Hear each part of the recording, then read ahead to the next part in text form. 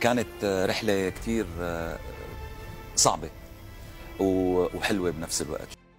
عبد المنعم عميري يعلن ندمه ويهاجم هؤلاء الفنانين ما قاله عن ابنتيه مؤثر.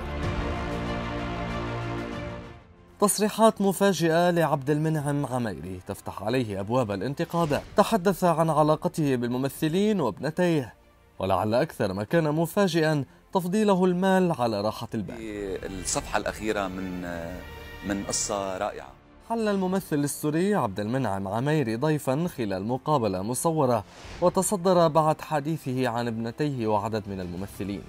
وكشف عبد المنعم عميري خلال استضافته في برنامج صدى الملاعب الذي يقدمه الإعلامي مصطفى الآغا عن أمنيته التي ينتظرها من ابنتيه مريم وسلمى مشيرا إلى أنها أن تفخر بما قدمه من أدوار مختلفة على مدار مسيرته الفنية التي عبر عن اعتزازه بما قدمه فيها متمنيا الأمنية ذاتها من طلابه.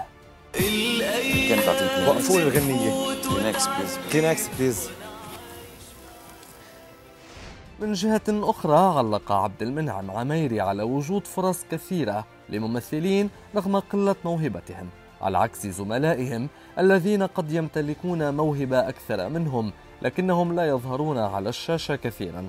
وقال عبد المنعم عميري أن الحظ يلعب دورا في هذه المسألة وليس الشكل والذكاء في إدارة الموهبة الأمر الذي اعتبره البعض انتقادا لاذعا لعدد من زملائه. بس بده يدق الباب بده ياخذ جواب. وهي مرة واحدة. ولعل أكثر ما كان كثيرا للجدل خلال تصريحات عبد المنعم عميري هو تأكيده أنه لو عاد به الزمن إلى الوراء لاختار راحة البال بعيدا عن المال لأن اليوم الأمور اختلفت ويفضل أن يكون لديه المال بدل راحة البال فالمال هام بالنسبة له حتى يؤمن مستقبل ابنتيه وقال الممثل السوري إنه قدم أكثر من مئة شخصية فنية منوعة في مسيرته.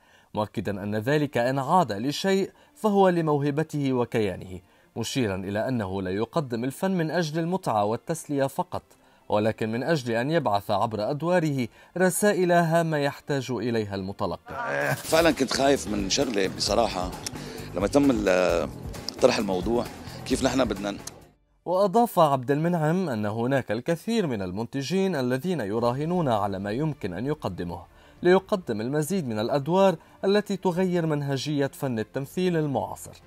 وعبر عبد المنعم عميري عن رغبته في تقديم نفسه بشكل مختلف إذا ما عاد به الزمن مرة أخرى مؤكدا أنه لا يحب بعض الأعمال التاريخية كثيرا لذا فإنه في مسيرته طوالها لم يشارك في سوى اثنتين فقط منها. وحول رأيه في دخول ابنتيه إلى عالم الفن قال عبد المنعم عميري إنه لا يمانع إطلاقا إذا ما قررنا الدخول لساحة الفن ولكن الأهم بالنسبة له هو أن يحققنا نجاحا ملموسا وليس لمجرد العمل فقط.